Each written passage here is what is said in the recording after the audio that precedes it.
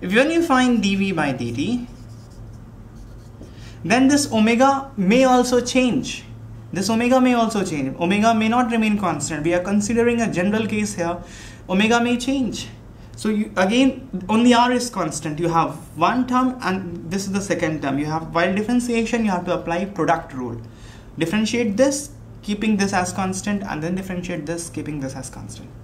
You know the chain rule? So when you do that what you get is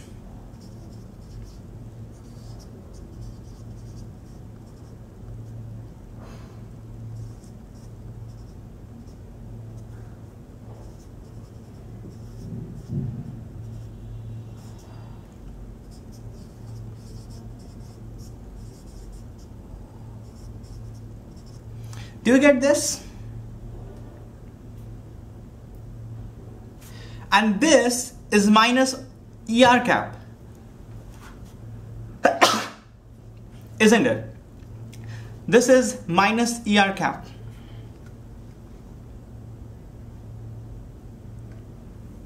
Oh, I'm sorry, there will be one omega here.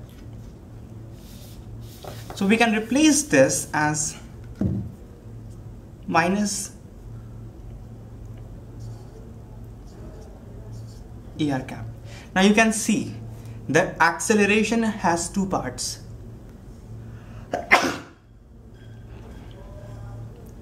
acceleration has two parts.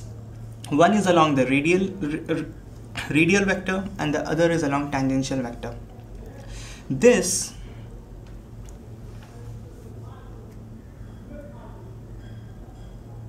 this you can write as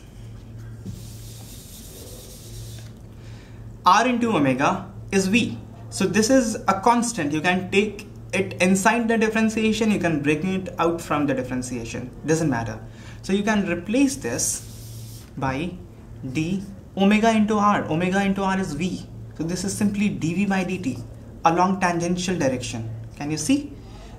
And this omega square r, the same value as we have found in the previous case, that is along minus ER cap. ER cap we have taken outwards minus ER cap would be inwards.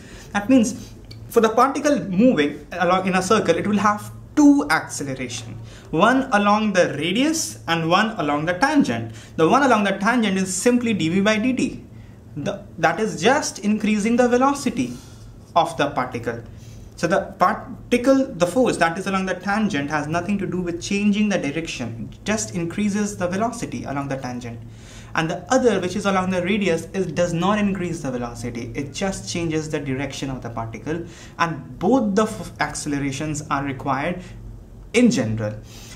At least centripetal acceleration will always and always be required for the particle tangential acceleration may not be there if tangential acceleration is not there then velocity will not change dv by dt will be zero velocity will remain constant and will have a uniform circ uniform circular motion when both are there, then the direction is also changing and the velocity is also increasing. So it's a non-uniform motion increasing or decreasing.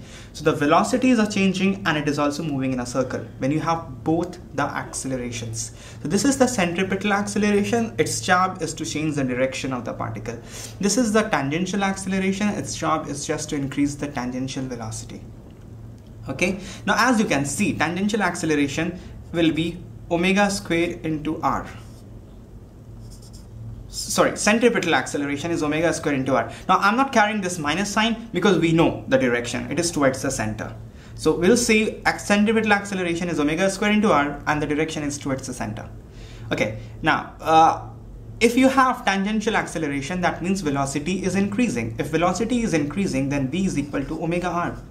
r is, if r is constant, velocity is increasing, omega has to increase. Then the centripetal acceleration will also have to increase.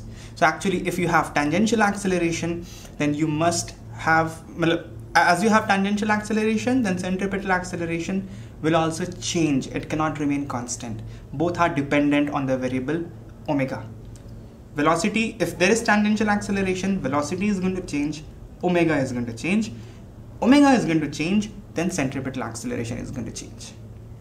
We'll have those comparisons and analysis as we move on, but for now, there are four important formulas that you have got in your pocket. First, v is equal to omega r. Parallel to this, you have tangential acceleration is equal to omega into alpha. And the second, centripetal acceleration is omega square into r or you can replace omega by v by r and you'll get v square by r. So these are the formulas that we have learned up till now. Their derivation, derivation of the centripetal acceleration is something that you must know and you must practice.